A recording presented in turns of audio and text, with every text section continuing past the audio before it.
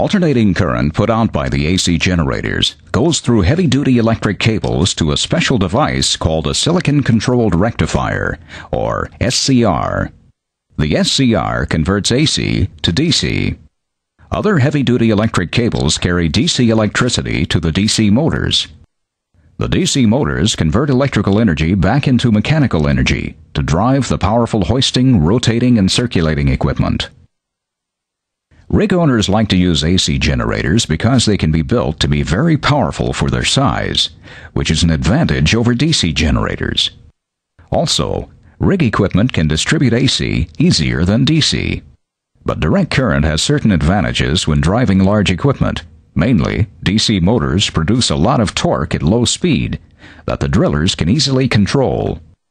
Using remote switches on his console to control the SCR control panel, the driller can select and deliver the power from the various generators wherever it is required.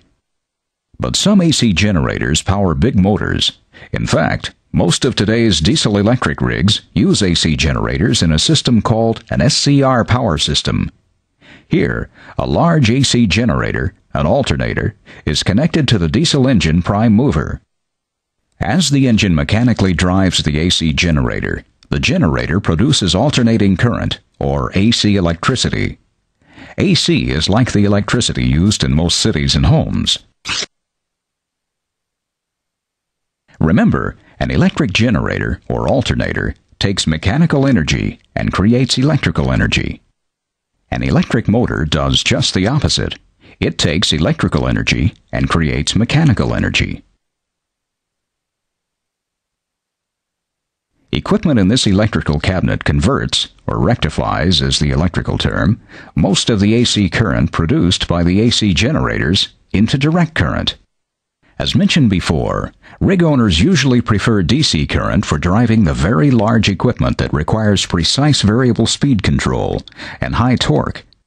The control equipment includes solid state electrical components called silicon controlled rectifiers, or SCRs.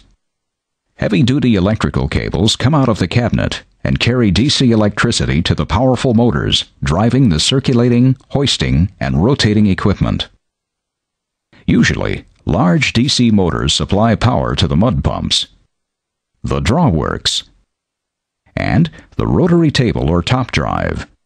Sometimes the drawworks mechanically drives the rotary table, but on some rigs, the rotary table has its own motor. The driller can control the speed of a DC motor very accurately, which is why rig owners use DC instead of AC motors. With accurate speed control, the driller can accurately set the speed the drawworks lifts.